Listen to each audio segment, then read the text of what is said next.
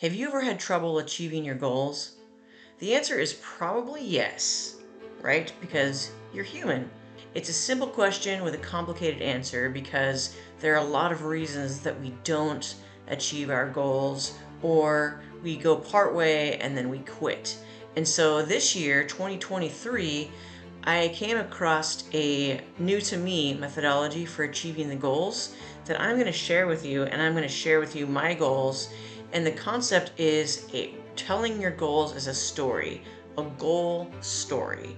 Okay, so if you have trouble achieving your goals, take a listen to this, and I'm going to give you some examples with my own goals, and it could help you give some power behind achieving those goals. So a goal story sounds fairly self-explanatory. You start with this with the list of goals, but you create them into a story that you tell yourself. Science has proven that humans connect with stories, right? We want to hear stories. We're naturally drawn into them. And so if instead of looking at a, a cold list of goals like I want to lose 30 pounds this year, I want to take a trip to Hawaii, or whatever your goals might be, you craft them into a story to draw not only yourself in, and you'll definitely draw yourself in, but you will motivate yourself through the power of story, and perhaps you'll motivate other people as you share your story. With that being said, I'm going to be vulnerable and share my goal story with you for 2023 it kind of freaks me out to share my goal story because A, it means I'm sharing my goals, which means I'm publicly airing my hopes and dreams. and so if I fail, I put it out there. But I know that it's an important thing to do. I think this process could be transformative, so I want to try it out and share it with you guys. My goal story centers around who I want to become. I own a marketing business called Summertime Communications, and I help small businesses create written content like blogs and newsletters and social media. I love what I do, it's amazing, but what I want to do even more of is to create content of my own for my blog and for this YouTube channel. And I want to get back into the shape that I was in a few years ago before I started my business, before a lot of life transpired, really. I love my business. I love my clients. Every day is delightful because I get to do the things that I really enjoy on behalf of other companies. But I also have a deep, burning passion to write and to create and to share ideas that I have besides the work that I'm doing for my clients. And so what my 2023 goal story looks like is me investing in content creation through more blogs and more videos and also becoming the fittest version of me. My story involves me taking the time out of my day every day to create content, to write blogs, and to also create a video for the blog if you're watching this video, I also wrote a blog about it, which I'll link in the description. But I know that you have to, if you want to eat an elephant, as they say, you have to take it in small bites. So a small bite for me looks like setting aside half an hour every day before I dive into my daily tasks to write. If I take half an hour every day to contribute to a blog post, then I will probably be able to get one blog post published a week, which is my goal.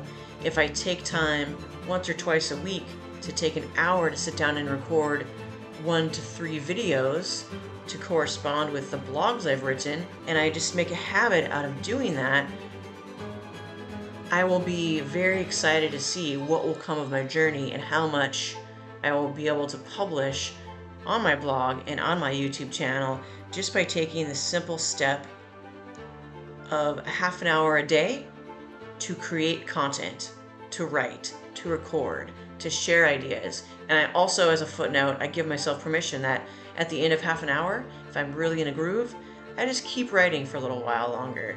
The last couple of days, I ended up writing for 45 minutes, and that was great because that was what I needed to finish my thought process. That's where I see myself going in the future as more of a content creator and having the content that I create be an income source and not just something that I do as a hobby. Because I love sharing ideas.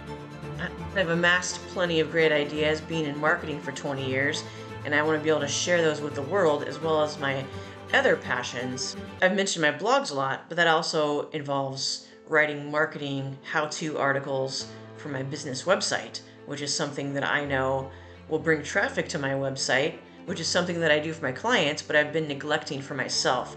Building content for my brand with as much gusto as I spend on my client work, which is really scary to admit. But here I am, telling you my goal story. Now, the second part is on the fitness front. I mentioned that I want to get back to the previous shape that I was in a number of years ago, and back in those days, this was when my husband and I were just getting acquainted in the summer of 2009. I had completed my first triathlon, which was my bucket list thing, and I was doing a ton of hiking. So I was essentially in the best shape of my life. I could hike anything without giving a second thought to how steep it was. And having done the triathlon training, I was kind of in all, all around good fitness. And so um, I've let my running and my hiking kind of lapse in recent years, and I want to pick that back up, and I'm currently picking that back up. So my goal story for fitness involves getting back to that spot I was in in 2009. And so that's going to involve me taking the time to to run regularly, which I've been doing. And it'll involve me doing more hikes, which I need to add into the schedule. That's a little bit more complicated because it takes a little bit more time than just going for a run in my neighborhood. One of the things I'm doing to help prepare for that is I've signed up for a trail run next month, and I will be uh, that'll be the first of several I'll be doing this year. And so, to, in order to train for the trail run, obviously I'm doing some trail running, and I'm making sure to add some hills into those runs because there's going to be hills on the runs, and I've uh, my plan is that um, I will add more and more hill running into my schedule and I'll add hikes a couple times a month and as I continue to push myself on that front I will find myself as the weeks and months go by getting in better and better shape for regaining that fitness level. Right now my goal is to get in that overall cardio shape and so once I achieve that then I can start looking at the next thing which is working on my running pace but one thing at a time on the fitness front, right? So to kind of summarize, I've told you a story. I don't know how great of a story it is, but my story involves who I want to become.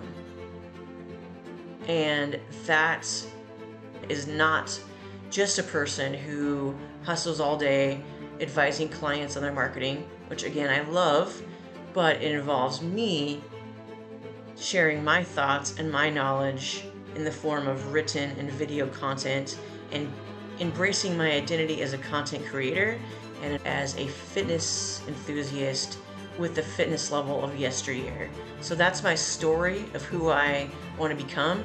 And by telling myself that story, that motivates me to go out and take the smaller steps to become that person. If we look at it as who we're becoming versus achieving a specific goal, then I find that it's more motivating to go out and do the things. I'm going to go out and go for a run this morning because I need to to become that person to continue becoming that person who runs 10 to 15 miles a week. I'm not going to become that person by not doing it. And so having it as a vision of who I want to become makes it easier to build it into my daily routine. I hope that makes sense. As it pertains to you and your goals, think about those things that you've written down that you want to achieve.